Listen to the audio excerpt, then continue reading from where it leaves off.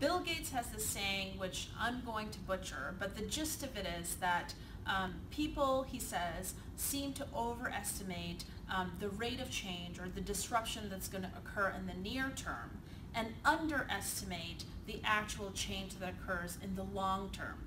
So what that basically means is that when a new technology comes in, let's say like immersive media, like VR and AR, everyone gets into the hype of this particular new technology change. And um, they get completely deflated when they realize that the, the kind of buoyant feeling that they had that this is going to change the world doesn't quite materialize in those two years that they thought it would. But then they forget about it or they decide to turn their backs to it and then lo and behold 10 years later um, the change that they were expecting two years ago actually did happen and they missed the boat.